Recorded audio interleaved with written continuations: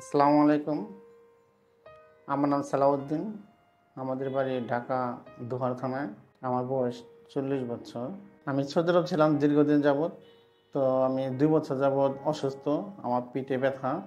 কোনো কিছুতে সারছে না। আমি সৌদি ডাক্তার দেখাইছি, কিন্তু কাজ হয় নাই। পরবর্তীতে আমি বাংলাদেশে আছি। আসার পরে আরও ডাক্তার দেখাচ্ছি দুই জায়গায়, কিন্তু তাও আমার সারে নাই।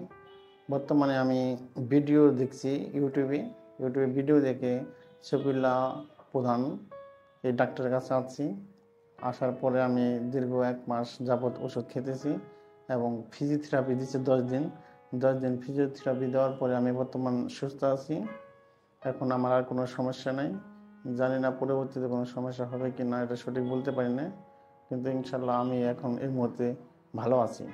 এখন তো আমার পিঠে ব্যথা পুরোপুরি নাই। আমি যার কাছ থেকে থেরাপি নিয়েছি থেরাপি খুবই ভালো ইনশাল্লাহ ভালোভাবে আমাকে থেরাপি দিয়েছে এবং তার থেরাপিতে আমি তাড়াতাড়ি সুস্থ হয়ে গেছি। ইনশাল্লাহ আমি দশ দিনের ভিতরে এখন ভালো আছি। না, এখানে নাচটা সবাই ইনশাল্লাহ ভালো। খুব ভালো একটা পরিবেশ, পরিষ্কার, পরিচ্ছন্ন পরিবেশ। আপনারা দয়া করে সবাই সুফিল্লা প্রধান এর কাছে আসবেন।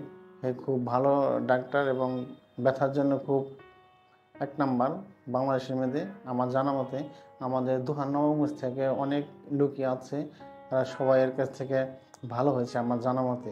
এবং আমিও দুহারের অনেকের কাছে শুনছি, তারপরে ইনশাল্লাহ আমি এই জায়গায় আছি। আমার জন্য সবাই দোয়া করবেন, আপনারা সবাই ভালো থাকবেন। আসসালামু আলাইকুম।